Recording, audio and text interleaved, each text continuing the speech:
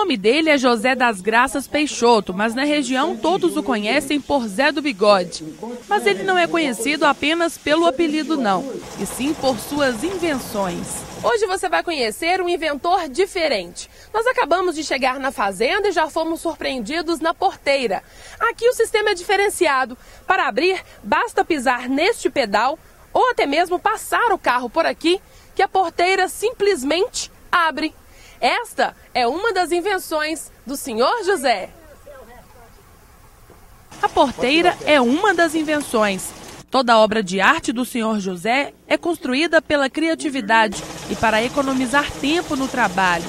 Tudo começou pela necessidade. A invenção minha que eu inventei primeiro foi uma lâmpada debaixo de um armário de cozinha que você ia procurar uma peça dentro do armário da cozinha, a lâmpada no teto estava alta e se abrir a porta do armário da pia, estava escura debaixo, né?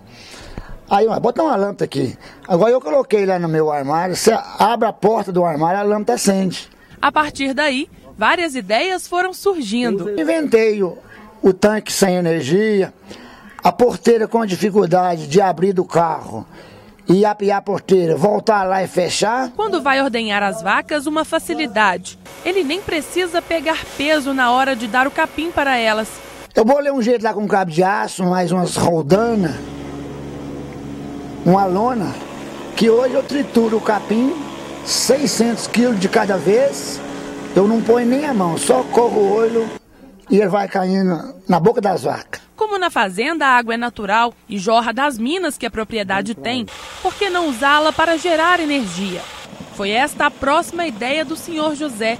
O armazenamento de leite é feito através de um. Ainda porque tem um ano mais ou menos que eu coloquei esse tanque.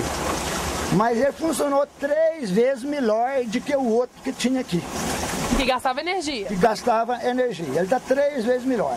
Então o leite chega a pedrar, conforme ontem. Recipiente comum. O diferente é a forma que o local é resfriado, tudo à base de água. E hoje de manhã eu coloquei, de manhã, e ele já está gelado. Você vai, você vai ver a prova.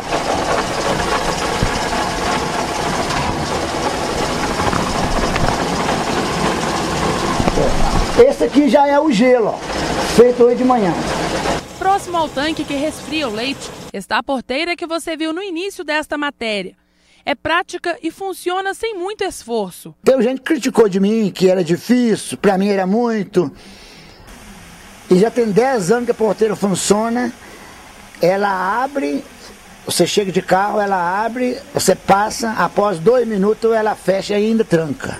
Ainda explorando a água como sua melhor aliada às invenções, José fez um sistema de irrigação e até uma fonte. Mas não pense que ele idealiza tudo isso sozinho. Dou muita força para ele, ajudo ele. Tem invenção aí que ele, ele pode te mostrar lá que eu que dei ideia para fazer.